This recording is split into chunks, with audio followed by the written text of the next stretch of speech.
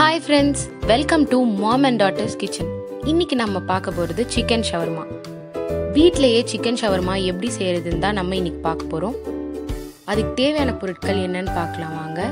மைதா ஒரு cup chicken one fifty gram ginger garlic paste ஒரு spoon garam masala ஒரு ஸ்பூன் சில்லி பவுடர் ஒரு ஸ்பூன் மஞ்சத்தூள் பெப்பர் பவுடர் கர்ட் ஒரு ஸ்பூன் லெமன் ஹாஃப் மைனேஸ் ஒரு ஸ்பூன் ஷெஷ்வான் சட்னி ஒரு spoon cabbage onion half capsicum half salt oil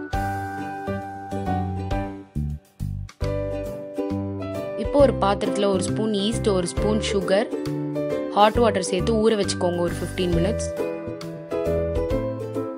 ஒரு பவுலில் ஒரு கப் மைதா சேர்த்துக்கோங்க. தேவையான அளவு சால்ட் சேர்த்துக்கோங்க. கொஞ்சம் ஆயில் இப்போ இதை நல்லா மிக்ஸ் பண்ணிக்கோங்க.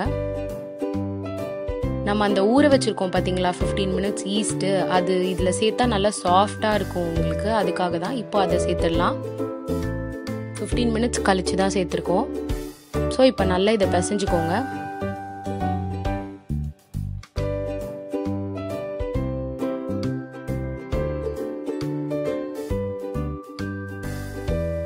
இப்போ லேசாக எண்ணெய் சேர்த்துக்கலாம். நல்லா பிசைஞ்சு வச்சுடுங்க. இப்போ நல்லா பிசைஞ்சாச்சு. இப்போ ஒரு ஈர துணியில் இதை ஒரு டூ ஹார்ஸ் ஊற வச்சுருங்க முடி ஊற வச்சிடலாம்.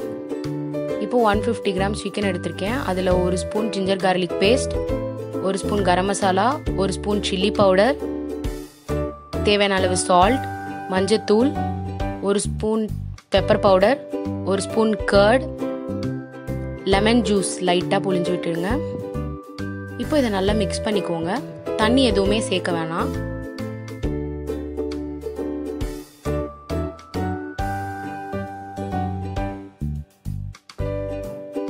இந்த மாதிரி மேக்னேட் பண்ணி வச்சுக்கோங்க. இப்போது ஒரு பேனில் ஆயில் ஊற்றிக்கோங்க இப்போது இதை சேர்த்துடலாம். ஸ்டிர் ஃப்ரை மாதிரி பண்ணிக்கோங்க. எண்ணெயில் போட்டு பொரிச்சு எடுக்கணுன்ற அவசியம் இல்லை. இந்த மாதிரி க கிண்டி விட்டுட்டே இருங்க. நல்லா கோல்டன் ப்ரௌன் ஆகிடும் ஸோ இந்த மாதிரி கோல்டன் ப்ரௌன் ஆனோன்னா ஆஃப் பண்ணிடலாம். இந்த மாதிரி எடுத்து வச்சுக்கோங்க. இப்போ ஒரு சின்ன பவுலில் ஒரு ஸ்பூன் மயனேஸ் ஒரு ஸ்பூன் ஷெஷ்வான் சட்னி. இப்போ இதை நல்லா மிக்ஸ் பண்ணி தனியாக எடுத்து வச்சுக்கலாம். ஒரு பவுலில் கேப்சிகம் கேபேஜ் சேர்த்துக்கோங்க. ஒரு ஆனியன் கேப்சிகம் சேர்த்துக்கோங்க இப்போது இப்போ ஒரு ஸ்பூன் மைனஸ் சேர்த்து நல்லா மிக்ஸ் பண்ணி தனியாக எடுத்து வச்சிடலாம் இதையும். நல்லா மிக்ஸ் பண்ணிக்கோங்க.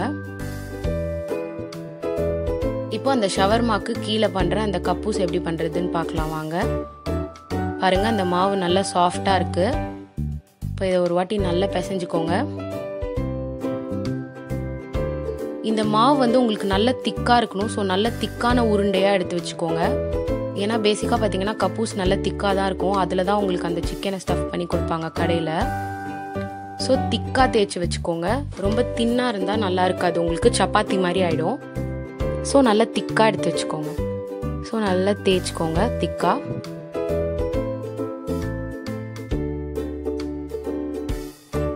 இந்த மாதிரி ஆனோடனே இதை பேனில் போட்டுடலாம்.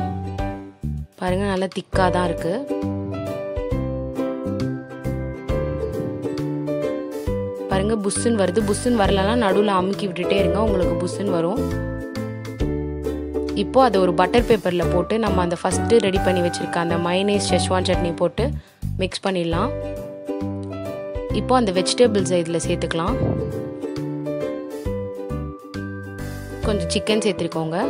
உங்களுக்கு எவ்வளோ வேணுமோ சேர்த்துக்கலாம் நீங்கள் அந்த பட்டர் பேப்பர் உங்ககிட்ட இல்லைன்னா நீங்கள் நார்மலாக ரோல் பண்ணிக்கலாம். இப்போ இதை இப்படியே பொறுமையாக ரோல் பண்ணிடுங்க. அவ்வளோதான் ரெடி ஆயிடுச்சு.